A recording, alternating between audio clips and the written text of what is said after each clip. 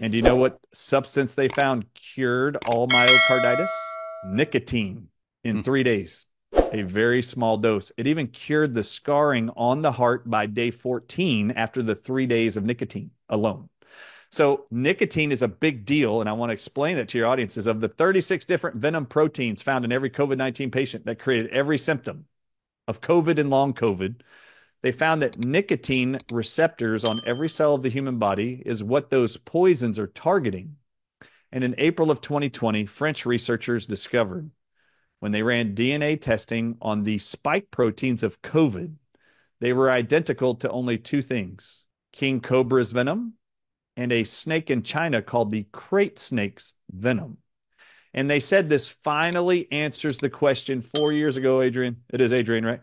Adrian, four years ago from today, four years ago, those research scientists said we did DNA testing. We know what the actual spike proteins of COVID are. They're identical to two snake venoms proteins. And there are labs all around the world that make this stuff. I didn't know this, but they said this finally explains four years ago the perplexing question of every medical doctor and hospital administrator around the world.